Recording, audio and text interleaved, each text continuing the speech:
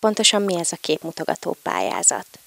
Ezt az ORFK írta ki, most már nem tudom hányadik alkalommal több egyszerre, tehát nem először írta ki, a bűnmegelőzési osztály, és az a céljuk, hogy felhívják a fiatalok figyelmét arra, hogy egy ne kövessenek el bűnt, másik az, hogy igyekezzenek nem áldozattá válni, illetve két autós téma volt, az egyik az ittas vezetés, a másik pedig a mobilozás vezetés közben. Önök melyik témát választották? Mi a mobilozást választottuk.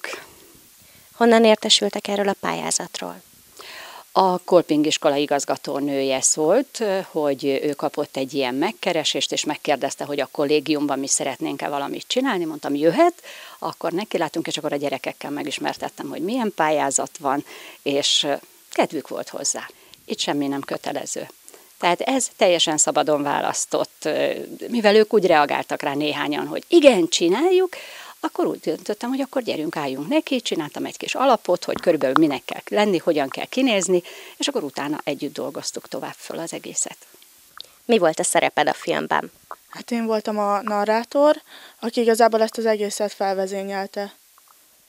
Hát a tanárnő írta igazából meg az egészet, és mi csak átreppesítettük az egészet, és így lett belőle ez. Volt, amit áttírtunk benne, mi ugye gyerekek, és ugye mi ezt átrepesítettük, és ennek az ötlete úgy jött, hogy uszodában voltunk, és eljött velünk a tanárnő is, és jöttünk haza, vagy jöttünk vissza a kollégiumba, és én vedugtam a fülemet, úgy, ahogy szoktam buszon is, és zenét hallgattam, és közben énekeltem, és tanárnőnek ez megtetszett, és megkérdezte, hogy mégis nem -e lehetne azt, hogy ezt átreppesítsük, ezt az egészet. Miért pont ezt a témát választották? ez véletlen. Egész konkrétan arról szólt ez a pályázat, hogy egy Arany János versnek legalább egy sora kell, hogy megjelenjen egy slam poetribe. És hát elkezdtünk gondolkodni azon, hogy egyáltalán Arany Jánosnak egy Arany János balladát melyik legyen, és úgy hazamentem, és elővettem az Arany János kötetet, és elkezdtem olvasgatni. És ahogy olvastam épp az ötödik Lászlót, az már negyedik, ötödik ilyen átolvasás volt, akkor úgy jött, hogy hú, hát ebből lehet valamit kezdeni, és egyszerűen a szövegből úgy adódott, hogy ebből ez lesz, mobilozás lesz. A film Várpalotán a Turivár környékén készült, miért pont erre a helyszínre esett a választás?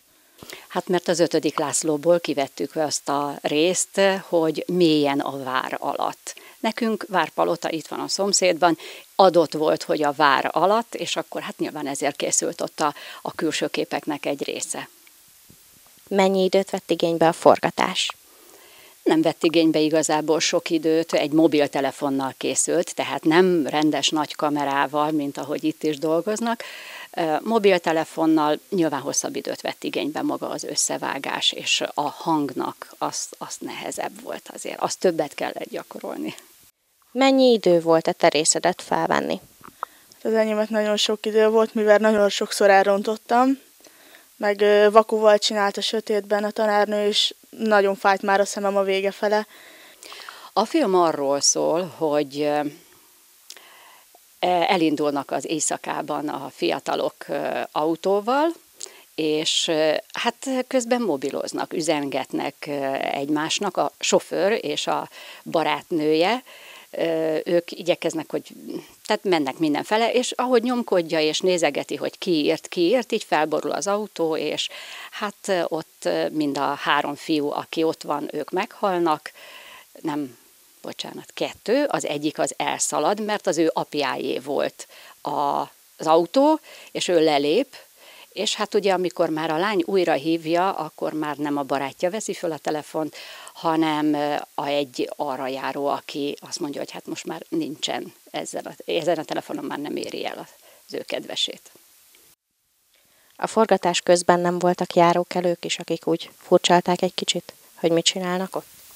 De voltak, és pont itt Pétfürdön, amikor vettem fel, ahogy jönnek az autók, azt itt vettem föl, a busz megállóban álltam, és úgy vettem föl, és az egyik hölgy odalépett hozzám, hogy hát ezt azt hiszem nem szabad felvenni, és mondtam, hogy nyugodjon meg, teljesen igaza van, nem fog látszani a, a rendszáma, úgyhogy ebből csak egy nagyon picike fog, de igen, szóvá tették.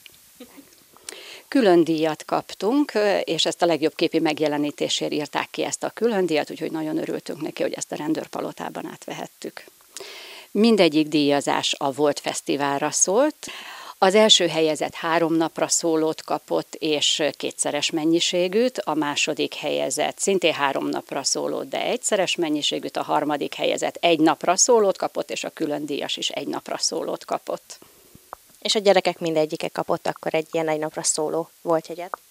Mivel három fő volt a maximum, aki egy csoportban pályázhatott, ezért hármat kaptunk, de nem hárman dolgoztak a gyerekek, hanem hatan dolgoztak sőt, heten, mert volt egy fantasztikusan jó szájdobosunk is, aki nem jelenik meg a filmben, viszont ő nélküle sokkal rosszabb lett volna az egésznek a hangzása, tehát ez nagyon sokat emelt rajta. Úgyhogy így tulajdonképpen heten készítették a filmet. A díjkiosztó során lehetőséged volt látni a többi pályaművet? Igen, az összeset leforgatták, voltak nagyon jók, de volt, ami, ne, ami nekem személy szerint nem tetszett. Lehet, hogy másnak azt tetszett, de nekem nem. Melyik volt az, amit téged különösebben megérintett? Az első helyezett, mert az, abban nagyon sok igazság volt. Meg jó volt a forgatása is, szóval ahogy meg volt csinálva a kép. Elégedettek az eredménnyel? Természetesen bármilyen díj jól esik az embernek, elismerik a munkáját, a gyerekek is nagyon örültek neki, hogy e, azt hiszem mindegyiküknek ez volt az első, hogy tényleg ilyen díjat sikerült nyerni, és nagyon örömmel vették. Tervezik a jövőben is, hogy ugyanerre a pályázatra vagy hasonló filmes pályázatra is jelentkezzenek? Én szeretném, de ez természetesen majd a diákokon fog múlni, hogy van-e kedvük, mert nem erőltetünk semmit. Igen, erre nagyon nyitott vagyok, szeretek ilyeneket csinálni, főleg ha jó a felvétel. És igazából úgy nagyon mással nem is szeretnék, csak a tanárnővel, akivel ezt az egészet csináltuk, mert nagyon jó vele dolgozni.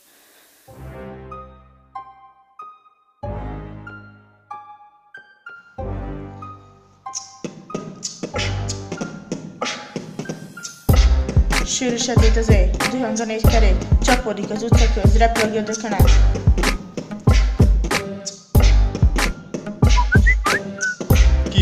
Az? Vagy úgy? Fordulj be itt balra, és hagyd a telefon. Gyerünk elő, vegyünk cigikat, dohányát, vagyok itt. A fenébe hát, kiírhatott ilyen későn vagy talán korán, hisz az óra kettőt mutat már. Már nem hagyhatom, de és Dorina, mit ír? Lelép, és éppen az a kreténnek. Ezt nem tűretem, azonnal oda megyek és szét.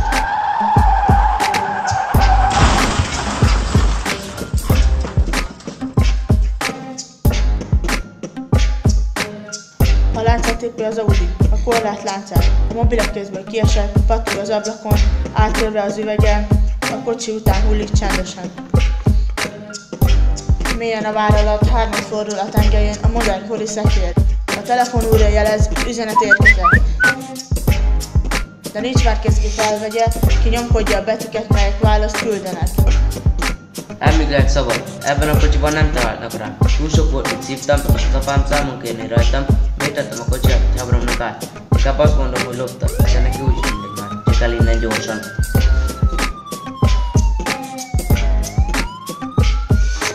Másik kettő sem beszél, milyen volt ez görbel szédült ég. Villogás és víjogás, rendőrautó érkezett. Minden perc egy halál, Bélászló elindult a fény felé, de még tétováz, belépni fél. Csengést hall az ismerős dallamot. Levegője elfogyott, neki már csak a dallam zokog, könnyen nem maradt, eszébe jutott, hogy lelép, és a kretén. Az alvó felvirrad, a bújdós riad, a bosszú akarást erőt ad. Az ülés drótja a hátában, tüdejéből habos vérziház. Szólna még, de már hörög. Ezt nem ússza meg, a telefon újra kiabál. Vedd már fel, te szamár! Miért nem válaszol? Csak 10 percet léptem, mert keresett fater. Mi miattot adott, hogy utánatok nézhessek. Hol a francba vagytok? És mi ez a víjogás? Ez itt V. Telefonja. Volt. Nincs gazdája már. Mellette két halott. Hölgyem, azt hiszem, Roszko telefonált.